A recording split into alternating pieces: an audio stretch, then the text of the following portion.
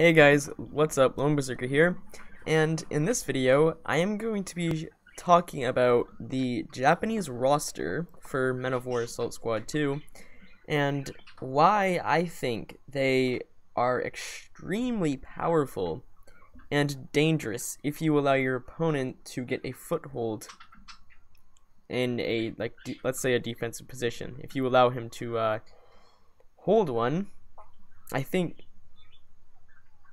Japan in that situation is at its best is when it's in its defensive position, but that's beside the point. So, what first off, we have the infantry. So just the normal infantry squads, we have the recruits, assault, regular, paratroopers, SNLF, mechanized SNLF, combat engineers with AP mines, combat engineers with anti-tank mines, and mine disposal experts. Now, first of all, you, the Japanese infantry is very important because it is one of their strongest tools. Now, there's a big difference between the assault infantry and the regular infantry that people seem to overlook quite a bit, actually. And that's the assault infantry. They have more uh, more submachine guns. If you want to read these little things, I'll just leave them up for a minute and you can pause. And here's this one. So so they have more submachine guns, and the Japanese submachine gun is 13 um, MP, which is cheaper than most submachine guns, and so that makes them the best unit to start off with, bolstered by SMGs, as many as you can buy, I would say. So like get a squad of these assault infantry at the start, and back them up with SMGs, and you will have a really really good start if you obviously play it right. Next, they have their paratroopers. Um, They come with rifles? I've bought them before, but I find them almost to be useless. And I know that might sound confusing, but that's because of these guys right here, the SNLF. I am going to spawn them in, by the way. So, these are easily my favorite Japanese unit um, in terms of the infantry. And why is that? Well, not only do the majority of them have submachine guns? So that one has one. That one has one. I think they all actually. That one has a machine gun. Machine gun, submachine gun, submachine gun, submachine gun. What the heck is that? M. Okay. I'm not good with guns. So, there's eight of them, and you can see there that they're all armed with submachine guns or machine guns, which is very, very important. And two of them come with um, rocket launchers. So if you want to troll your team, no, I didn't even kill him. Whatever. so, um, two of them come with rocket launchers, which is really important. And so these guys right here can be a really good um, unit to bolster your forces and push your enemy back. And you can do it quite successfully just based on the skill of these specific soldiers. In, in a way, you don't even have to micro them. They also come with a lot of uh, grenades too. So that's them. Then there are the mechanized SNLF, which is just the exact same thing but with a car. It has three um, three machine guns on it, which is really really good. It's again one of my favorite units. And then you have the regular engineers stuff down here. For singular units, like I said before, the SMG, very good. Get it. It's extremely good and will be really really useful. Uh, riflemen, very good in houses or ambush type scenarios. That's where they excel. In open battlefield, they'll get absolutely destroyed by any other infantry. So you can see they come with one regular grenade and one anti-tank. Um, they have five shots, but let's just select them right here. See, they got pretty good range, so I'm just to shoot. Look how long it takes them to reload. That's, in a sense, that's basically a um, debuffed sniper. They're not really that good. I don't recommend bringing them, but they are good to bolster your forces. Next, you have the um, tank crew, the basic tank crew, um, anti-rifle infantry. If you want to, go ahead. They're good for small cars. I don't recommend them. Anti-tank, I do recommend them. They're really good. Now, the, now the machine gunner. Oh, this is fun. The machine gunner, if you guys didn't know, it's cheaper than any other machine gunner in the game. Um, I think the German is 70 or 75, and this is 55. So that's, in my opinion, that is a huge increase in um or an, an increase in advantage because you're making your opponent spend more when you when you're just sitting back and spending less. Elite marksmen don't bring them; they're useless. I've tried them before; they utterly suck. Elite anti-tank, they're okay. Um, basic, basically better version of the anti-tank. They come with three guys instead of two. You can see here nothing really special against about them. But if you bring the SNLF, you don't have to bring them. So you can see that. Um, I am gonna start killing my own guys here. Just so I have more room. Didn't even kill him.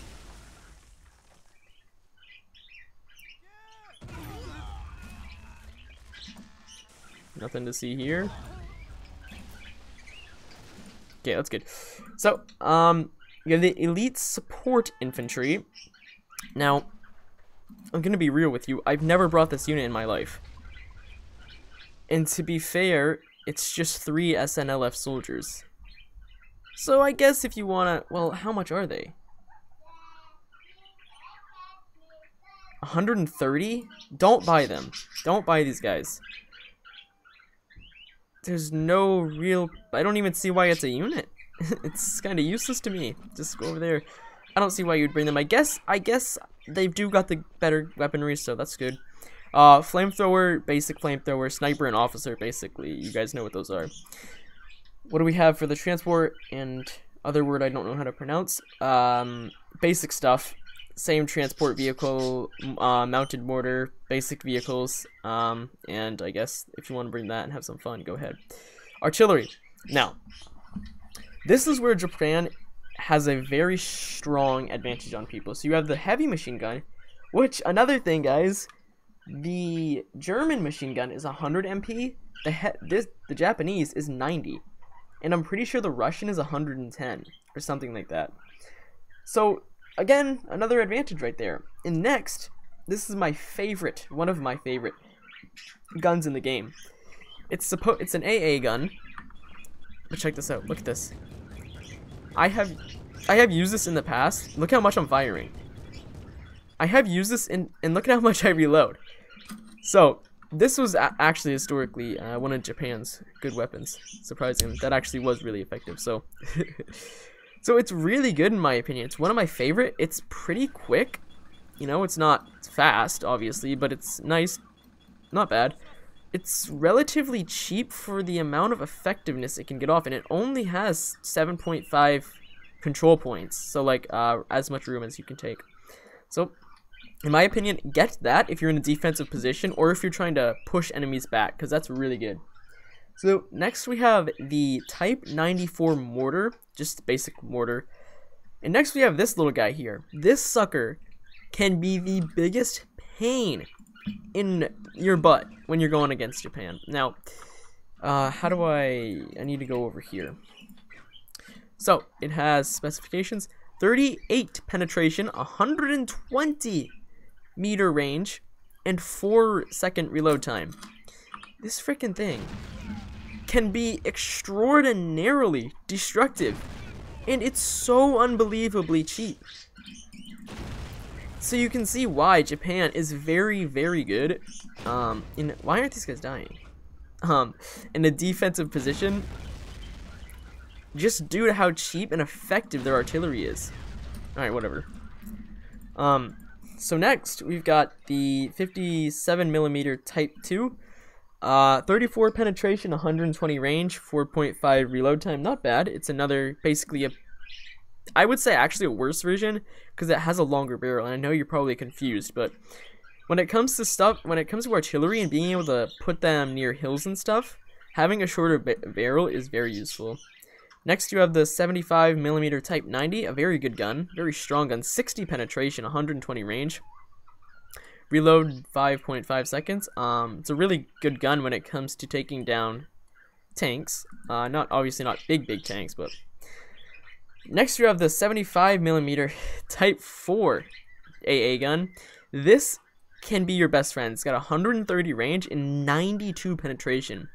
If you position that on a hill and get it in a good spot where you can check out, you know, um, have a range over um, the majority of the map, you can basically stop tanks from moving, unless someone obviously mortars you out, but uh, it does come with a car, so you can move it around quite a bit. It's, and it only costs 20 control points to keep in here. Next, we have the my favorite artillery, the 105 meter Type 91 howitzer. This flippin' gun, it can take. I've taken down tanks. Um, I've cleared out infantry. It's really good, so I'm just gonna show you it real quick, just so you can get an understanding of what it is. So, it's got, from what I remember, it's got, look at this, I can almost shoot across the entire map. It's got two, like 225 range. So I'm gonna shoot, and look at this. it's really, really good, and it's really cheap. It's only 500, and you can easily get a couple of those out. Next, you have the 150 millimeter Type 96. Um, a better version, it's got 250 range, so this does have 225. Just the better version, basically. Um, but I would recommend bringing this howitzer because it's cheaper and it can do the exact same thing that this one can. Next, you have the Honi 2, which is a howitzer mounted, and then you have the Horo, which is a howitzer mounted, but it's better. It's got some more range, got more reload time, but in my opinion, it's much better. Next, you got this. This is basically the Japanese secret weapon that nobody expects anyone to bring. So it's got 200 range. It's got 150 reload time. So this is the destruction that this thing can rain down. So just watch it. This house. Yeah. uh, you could take anything down with it. I'm not even kidding when I say that. I have hit anything I hit, it usually dies immediately. And now I have too much stuff, so we're just gonna kill it real quick. But and that that right there is why it's so bad because anything can kill it. Like anything hits it and it's just gonna die. So I'm just gonna destroy everything real quick and give myself some more room. Come on. You missed. what the hell? There we go. We got its engine. Oh my god. There we go. Now it's dead. Okay. So, the problem with that, though, is it's very slow, very cumbersome. Russian and German artillery easily outdoes it because it only has one rocket. And, you know, Russian and German, even American, for freaking God's sake, can outrange it and beat it. So, it's a last desperate act, I would say, to um to hold your enemy enemy's big tanks back. So next you have this. I don't recommend it, by the way. I do not recommend this, and I'll show you why in a little bit. We have the support weaponry, Type 92, which I just killed actually. But it's basically a car with a turret um, that can shoot in multiple directions.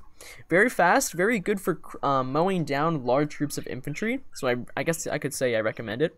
Next, you have the Hago and the Kinu. I would recommend bringing the Hago. It's basically a buffed version of the Type 92. It's a small tank. Um, it's got a cannon. It's only 160. It can take out a T60. Take out almost anything from... Not anything. I'm exaggerating when I say that.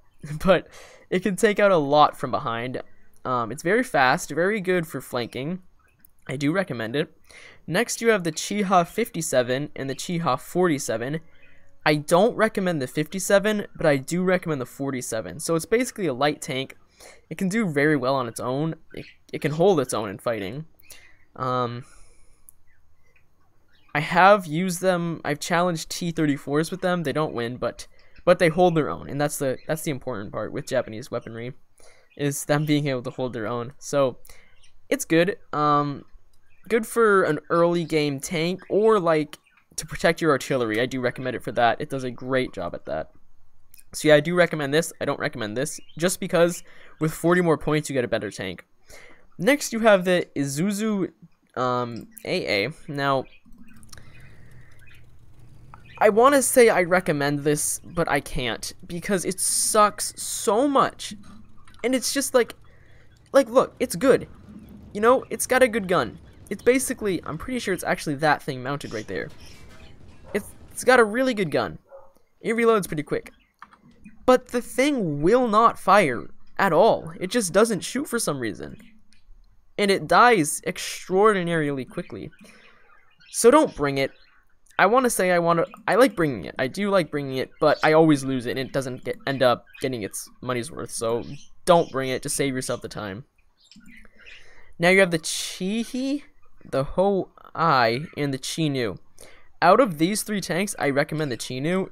Chihi and Ho 1, just don't cut it. And the Chinu is a buffed version of both of them, basically. So just bring the Chinu. It's better than these two. Don't waste your time with them. It's only 50 more. Well, it's 100 more, but it's 50 more than that. So yeah, bring that. Chitu is your most effective Japanese tank. Um, you can see it. You can check it out here. It has. I need to look at the specifications. 130 range, 92 penetration, really good. Uh, front, 75 armor, and um, 30 for the top. So 75 to 30, pretty quick. Um, really powerful gun, like I just said. And in terms of Japanese tanks, Japan Japan will always have worse tanks than everybody else.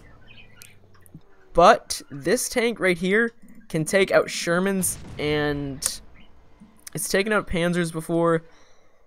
It can tango with Tigers, but it will lose after like a minute of fighting. But it can hold its own against them for a few minutes. So, I'm going to say this is easily your best tank most effective tank. So the Chi-Ri is a buffed version of the Chi-Tu. Um, definitely your best when it comes to taking down. I'm trying to think of a, a moderate tank here. Anything higher than a veteran tiger is going to kill this thing very quickly but anything lower than that is going to die to it very quickly. So just don't engage it with anything heavier than a tiger, basically. Uh, it's really good. You can see it if you want. It's sort of literally just like a different version of looking version of the Chi-Tu. So yeah, here they are in their glory. so yeah, um, they're pretty good, and you can do that. So next, you have your Honi one. Pretty good. Um, it's not it's not gonna survive anything. Anything hits this thing and it's gonna die. However, if used correctly, it can take down Shermans. Um, anything higher than that, you're screwed, so don't use it. But yeah, I have seen it take down Shermans. Very good. And now you have Japan's monster right here. The one thing that Japan has that can beat literally anything other than, I would say, a panther and a king tiger and possibly a super Pershing. No, it, it can take down super Pershings actually. And I'm pretty sure it can take down IS-2s. It's got a very, it's got a cannon on it for one, so you can, this is the cannon shooting. So that's the cannon. Um, this is its machine gun. This is its main gun. This sucker right here can blow anything into bits. So I recommend it only in the last case scenario because if you lose it, you've lost your best tank for one, obviously, and there are many alternatives to buying this one that can take down Pershings and stuff like that. So only bring this in the de most desperate scenario, or if you're trying to help your team win a tank battle. So now you have Japan's special units, and this is where they excel.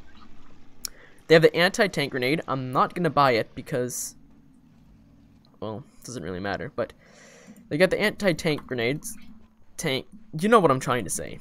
So one guy here, I've got to find him.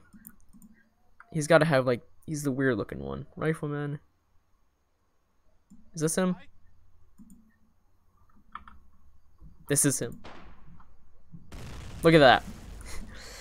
So it sucks that these units cost special points because there's only one guy who has the gun. It's really fun. I haven't actually used it, but I've seen people use it and it looks really fun to do. And I, it has been used against me. So he can take down tanks, small tanks. Um, he's really, really good when it comes to clearing out um, infantry. He takes a long flipping time to reload here. But, hold on. There we go. So yeah, like that.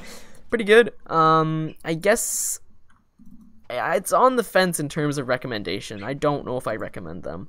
They're fun. They're pretty good for filler, but you can see they're all riflemen. Wait a minute. Do you get two of these guys? Oh, never mind. You get two. I guess I can recommend them because of that. so next you have the Kamikaze, which they all come with submachine guns. They're really good infantry. They have the stealth ability. Um, they're good for sneaking around the map. They can literally blow tanks up. I'm not kidding when I say that. I've done it before. So yeah, it's they're really fun. I don't really recommend them though because they're they're a great loss when um when they don't need to be they're kind of crappy in my basically was what I'm trying to say, but they are fun. They're really fun actually. Next are the flame tank. I think this is the only faction that gets a flame tank. It's really fun. Oh no, there's the um the Churchill I think gets it. The Churchill has a flame tank on it, and then the Croc for America has it. So yeah, there are a few other alternatives. This is the cheapest though. Next you have the Homeland Fury. Just an elite group of infantry. I do recommend them. They're very good units. There's a lot of them too. Honi 3, don't buy this piece of crap. It stinks. It's horrendous, basically. uh, don't bring it. Waste of points. Save them. Marine paratroopers, for 3 SP, don't bring them. I just see it as such a waste, and you're going to see why in a minute here. So now, those were the crappy SP points. You have the ones below them, which are 3 to 9. So the Hori one is the 9 points. So we have the Mortar, which is really good. I do recommend it. It's a better, I think it's, I don't, I hate saying this because I know someone's going to flip and correct me. But I think it's the best mortar in the game. It does a lot of damage. It's got a big explosion, so I do recommend it. Next, you have the Marine Tank. Now, the Marine Tank is good for infantry sp specifically, and small, small tanks. Um, I do recommend it. It's good in terms of um, blowing up a lot of infantry. And the reason I say that is because the only shell it gets is a heat shell. So it's kind of crappy when it comes to tank battles. Don't use it in tank battles, but it's really great for um, taking out infantry. Radio operator is just your basic one. I never use them. I think they're a waste. Bonsai, it sounds fun. It is fun, but it's a big waste. Don't bring it. You get two crappy tanks and a bunch of infantry, and usually they all just end up dying because, you know, you just send them at your enemy. So don't bring them. I don't recommend them. But they are fun if you want to have some fun when you're if you're like losing and you want to go for a last massive charge. Or if you want to um maybe I guess uh, finish your enemy off, use them. And now you have my favorite weapon in the game. This right here. This sucker. This is why I said not to bring the Hatu. It does the exact same thing as the Hatu, and it's way less expensive. I think it's got the same range as the Hatu. It has 200, so I'll just shoot it here so you guys can see what it does. It's being shot. Yeah, look at that. Literally just a small version of the Hatu, but it can do the same exact thing. So I 100% recommend this guy. He's very good, very fun. Um, but he is on foot, so that sucks. So you got to kind of run him around. Um, I think. Let me get a car here.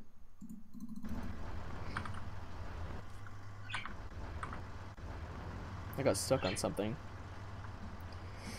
I think you can connect them to cars. Yes. So that okay, that makes them really good. So now you can transport them around, um, dodge rockets and stuff like that. So yeah, 100% recommend that. And now you have the Hori one. So it's a better than the Hori 2, but it's 9 SP points, and you can get a lot of better stuff than it that can do the exact same work. So I don't recommend it. It's just a, so pointless in my opinion. Why would you really bring it when it costs 9 SP. So yeah, don't bring that. Um, bring all the other stuff I mentioned, except bonsai. um, but yeah, I think I went over everything. Let me just check in case I missed everything. Pretty sure I went over everything. Yeah. So, that's the Japanese roster, and in my opinion, it's amazing.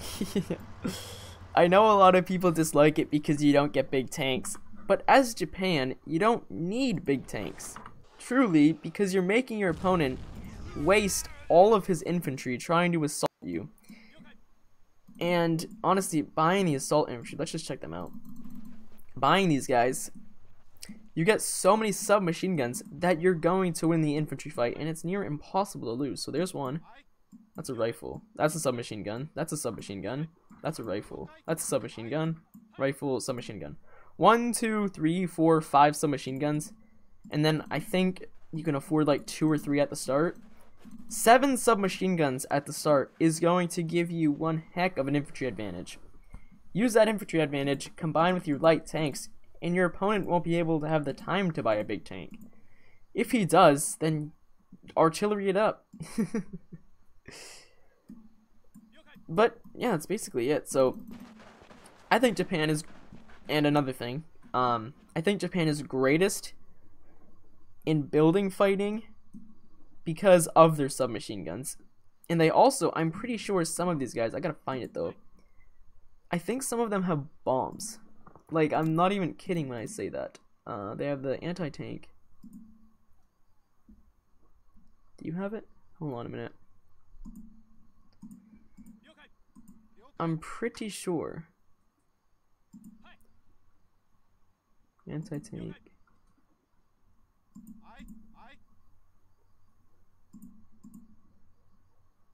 I thought there was something here literally called the hand bomb. Hand bomb.